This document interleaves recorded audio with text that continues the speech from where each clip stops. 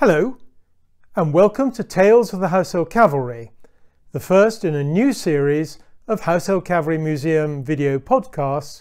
that will continue until the museum reopens and I can once again access the museum's collection.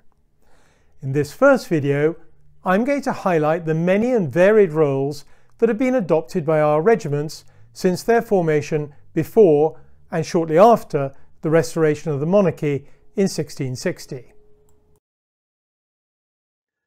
I'm sure that if asked, most viewers would say that the Lifeguards and the Blues and Royals and their predecessor regiments fought as horsed cavalry until the Second World War when they were mechanised, and that since the war they've served on tanks and armoured cars whilst maintaining a mounted ceremonial unit in London. This is far from being the truth, as we will see. Now, whilst it's true that the original Lifeguards were formed as a mounted bodyguard for the exiled King Charles II, the Blues were raised as Cromwellian cavalry, and the Royals were established to defend Tangier, from the earliest days, household cavalrymen were required to be flexible when it came to work. In 1665, the future King James II was the Lord High Admiral in command of the British fleet at the Battle of Lowestoft, fought against the Dutch.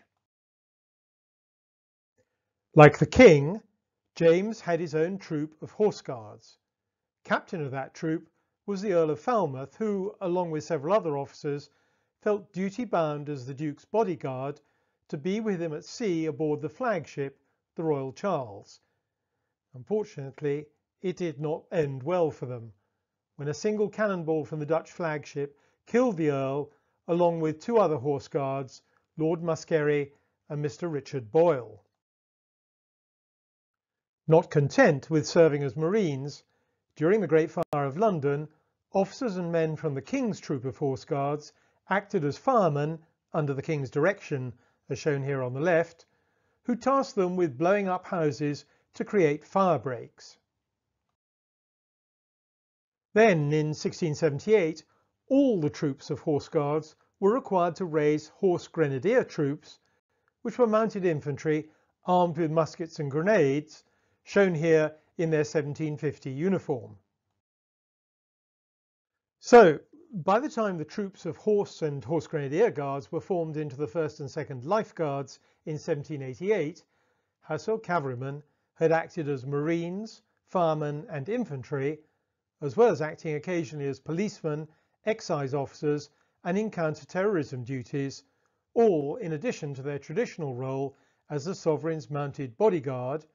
and in their role in battle as heavy cavalry, as seen in this slide at the Battle of Waterloo in 1815.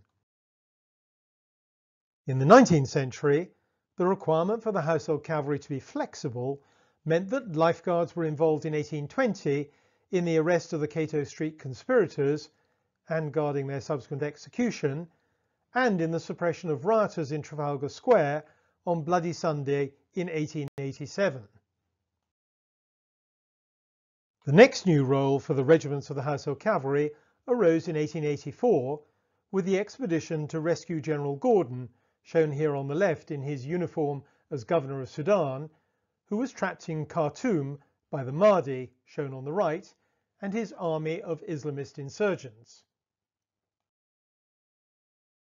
The relief expedition was led by Sir Garnet Wolseley,